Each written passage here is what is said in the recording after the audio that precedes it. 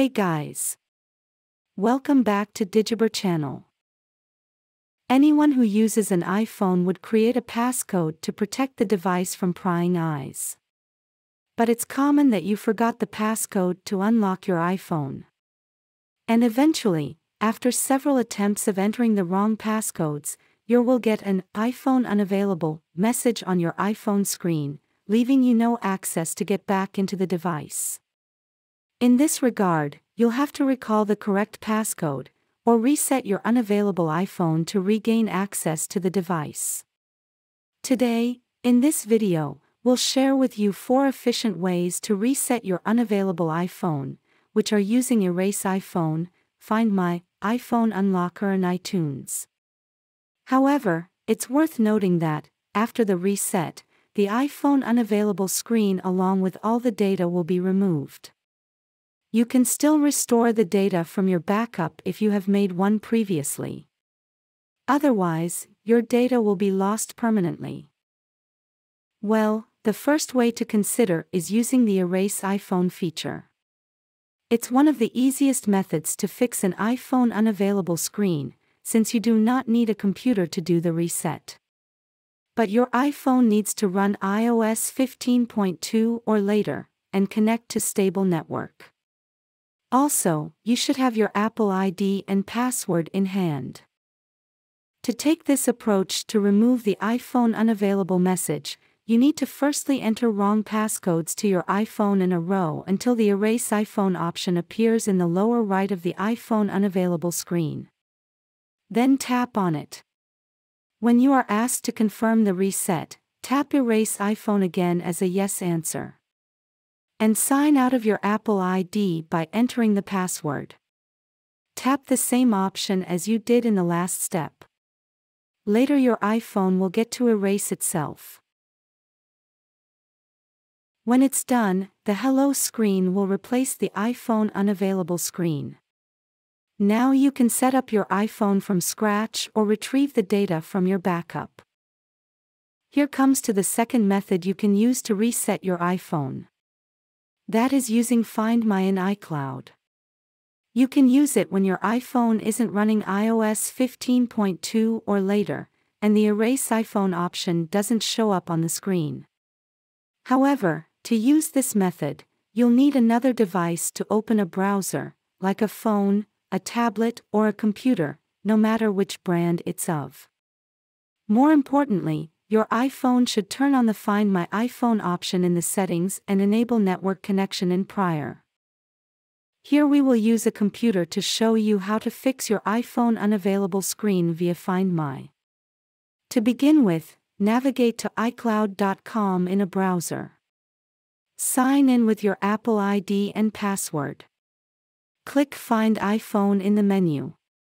Above the map, click All Devices. Select the unavailable iPhone from the pull-down list. Hit Erase iPhone among the presented three options.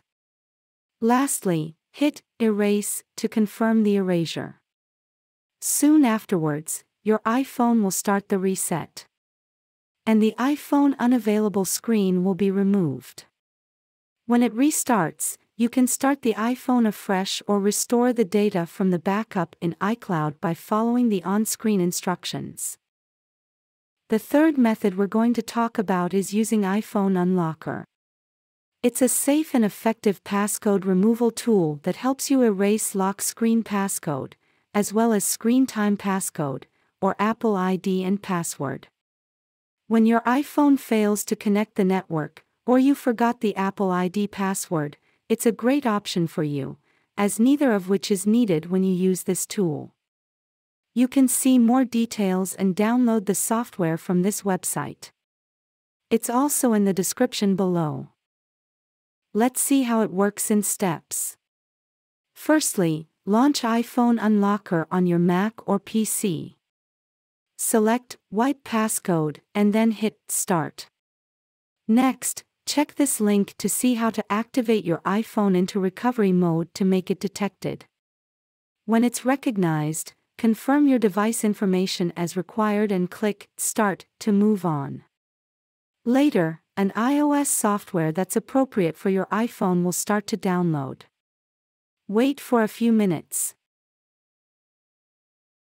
Once it's finished, you will see a pop-up window. Enter 0000 in the input box and hit Unlock.